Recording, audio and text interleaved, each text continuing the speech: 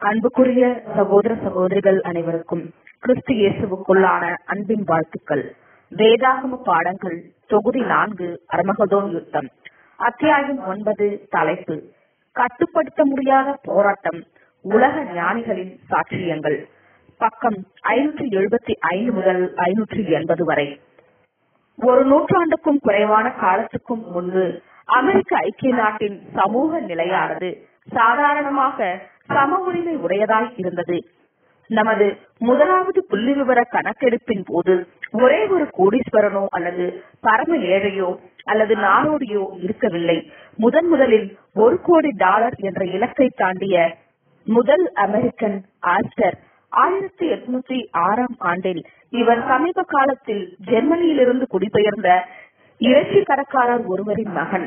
இவரது செல்வ செழிப்புக்கு மிருக தோள்களே ஆதாரமாக இருந்தது. இதற்கு முன் ஆயிரத்தி எழுநூற்று தொன்னூற்றி ஒன்பதில் தனது மறைவின் போது ஜார்ஜ் வாஷிங்டன் வைத்திருந்த மிகப்பெரிய பண்ணை இனமாகும். இது சுமார் ஆறு லட்சத்து ஐம்பதாயிரம் டாலர் மதிப்பிடப்பட்டது. பெரும்பாலான மக்கள் விவசாயிகளும் மீனவர்களுமாய் இருந்தனர். தங்களது உழைப்பில் திருப்தியுடன் வாழ்ந்திருந்தனர். ரயில் பாதை விவசாய இயந்திரங்கள் மற்றும் நவீன விஞ்ஞான சாதனங்கள் போன்றவற்றின் அறிமுகத்தினால் நாடு முன்னேற்றம் அடைந்து உலகின் செல்வ செழிப்பு மிக்க நாடாக ஆகிவிட்டது. நாட்டின் சராசரி சொத்து மதிப்பீடு ஏறக்குறைய நூறு மில்லியன் டாலருக்கு மேலாக இருக்கும். இதில் பாதி பாகம் முப்பதாயிரம் தனிமனிதன் மற்றும் நிறுவனங்களின் நேரடி கட்டுப்பாட்டின் கீழ் இருக்கிறது. உலகின் தனிப்பட்ட ஒருவரின் மிக அதிகபட்சமான செல்வம் அமெரிக்க ஐக்கிய நாட்டில் கடந்த அரை நூற்றாண்டில் சேர்ந்து விட்டது. அதிலும் எங்களது பொருட்களின் வளம் பெரும்பாலும் யாராலும் நெருங்கி வர முடியவில்லை. எங்களது நிலப்பரப்பில் நான்கில் ஒரு பகுதிக்கும் குறைவாகவே பயிரிடப்படுகிறது. எங்களது சுரங்கங்கள் மோபி மற்றும் பொட்டோசிக்கும் மேலான பொக்கிஷங்களை மறைத்து வைத்துள்ளன. நமது உற்பத்தியும் வர்த்தகமும் வளரும் நிலையில்தான் இருக்கின்றன. ஆனால் அதற்குள்ளாக செல்வ செழிப்பு வந்துவிட்டது. இவை அரசர்களின் சபைகளிலும் ராஜாக்களின் அரண்மனைகளிலும் வரவேற்கப்படுகின்றன. சமுதாயத்தின் சுமைகளும் பலன்களும் சமனற்ற நிலையில் தகுந்தளிக்கப்படுதல் போன்றவை சட்டம் நிறுவனங்கள் மற்றும் அரசாங்கத்தையே சார்ந்திருக்குமே ஆகில் நமது முறைமைகள் போன்றவைகள் கடைபிடித்து சமநிலைப்படுத்துதலை கொண்டு வர வேண்டும். ஒருவேளை செல்வமானது நீதியற்ற சட்டத்தினாலும் ஏழ்மை என்பது சட்டங்களின் சுமையினால் வருமானால் அதற்குரிய பரிகாரம் பாதிக்கப்பட்டவர்களின் கையில்தான் இருக்கிறது. அவர்கள் துன்பப்படுகிறார்கள் என்றால் அது சுய தண்டனையின் காயங்களாகும். நம்மிடையே பிரபுத்துவ முறை இல்லை அல்லது வாரிசு முறையோ அல்லது சாசனம் எழுதும் முறையோ இல்லை. அதோடு அனைவருக்கும் வெளியாக்கப்படாத வாய்ப்புகளும் இல்லை. நீதி சமத்துவம் சுதந்திரம் மற்றும் பொது நல நோக்கு இவையே தேசத்தின் அஸ்திபாரம். ஒவ்வொரு மனிதனின் கரத்திலும் ஓட்டு சீட்டு இருக்கிறது. பள்ளிகள் யாவருக்கும் கல்வியை அளிக்கிறது. பத்திரிகைகள் சுதந்திரமுடன் இருக்கின்றன. பேச்சும் சிந்தனையும் மனசாட்சியும் சங்கிலியிடப்படாமல் சுதந்திரமாய் இருக்கின்றன. ஆனால் சமுதாய கேடுகளுக்கு உலகளாவிய வாக்குரிமை உகந்த ஒரு மருந்தாக இல்லை. ஏழ்மை ஒழிக்கப்படவில்லை. செல்வமானது பேராசைக்காரரின் கனவுகளுக்கும் மேலாக சேர்க்கப்பட்டு விட்டாலும் யோகு காலமோன் மற்றும் அகிஷின் காலத்தில் இருந்த அளவிற்கு அதிகமாகவே பகிர்ந்தளித்தல் என்பது சமமற்று இருக்கிறது. பழைய பிரச்சனை தீர்க்கப்படாமல் இருப்பதோடு அதன் நிலைமையும் கூட இன்னும் சிக்கலாகவும் கடுமையானதாகவும் மாறி வருகிறது. பெரும்பாலான அரசியல் அதிகாரங்கள் வெகு சிலரின் கரங்களில் குவிகிறது. தனிப்பட்ட ஒருவன் ஆச்சரியப்படும் அளவிற்கு செல்வத்தை அடைவதென்பது ராஜாக்களின் ஆட்சி காலத்தை காட்டிலும் ஜனநாயக காலத்திலேயே அதிகம். செல்வத்துக்கும் ஏழ்மைக்கும் இடையே உள்ள மாபெரும் பிளவானது நாளுக்கு நாள் இன்னும் விரிவாகிக் கொண்டே போகிறது.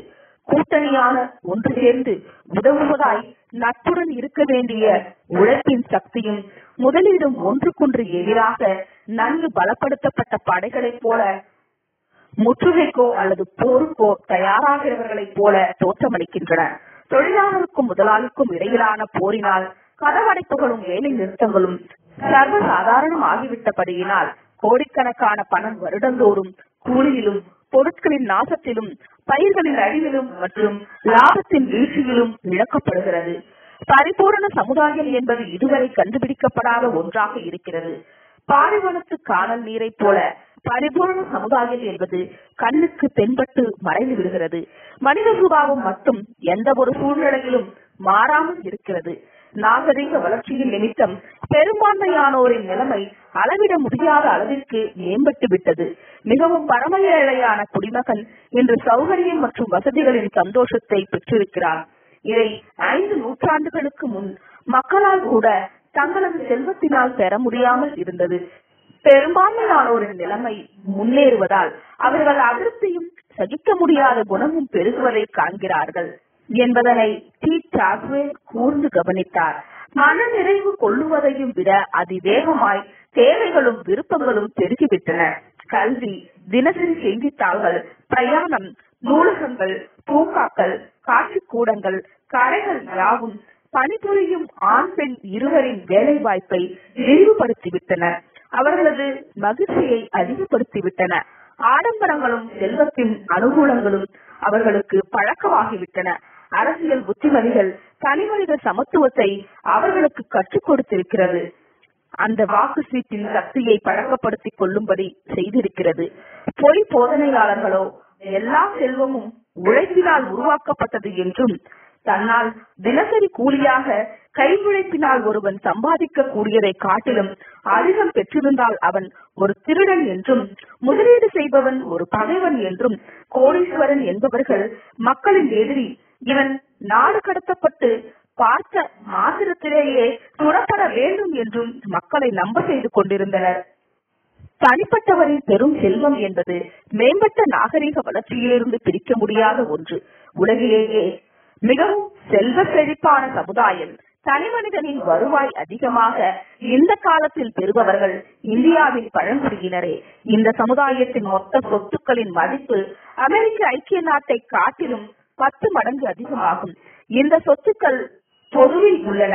சொத்துள்ள சமுதாயமாய் இருப்பது காட்டுமிராண்டி தரத்தினால் இருக்க முடியாது. ஆனால் ஒவ்வொரு நாட்டிலும் சமுதாய மற்றும் பொருளாதார சமத்துவம் நெருங்குவதாலும் மூலதனத்தின் தலையீடு இல்லாமல் உழைப்பினால் உருவாக்கப்பட்ட சொத்துக்களினாலும் இந்தியா மற்றும் சீனாவின் கூலி மிகவும் குறைவு. கூலி நாட்கள் பங்கப்படுத்தப்படுவதாலும் முன்னேற்றம் என்பது கூடாத காரியமாகிறது. ஆனால் இக்காலங்களில் அமெரிக்க நாட்டின் சொத்து அங்கு வாழ்பவரிடையே சமமாய் பகிர்ந்தளிக்கப்பட்டு கணக்கெடுப்பின்படி ஒவ்வொருவரும் தலா ஆயிரம் டாலர்கள் உடையவர்களாக இருக்கிறார்கள். இந்த நிலை தொடருமானால் முன்னேற்றம் தடைபடுவது நிச்சயம். ஆரம்பத்திலிருந்தே சாதாரணமாக காணப்படும் இந்த நிலையே இருக்குமானால் நாம் ஒரு நிலையிலேயே இருந்து விட்டிருப்போம். அதிகப்படியான செல்வம் குவியும் போது இயற்கையில் ஒரு கட்டுப்பாட்டின் கீழ் கொண்டு வரப்படும். அதோடு அதன் ஆற்றலும் கூட நாகரிக வளர்ச்சிக்கு சாதகமாய் மாறிவிடும்.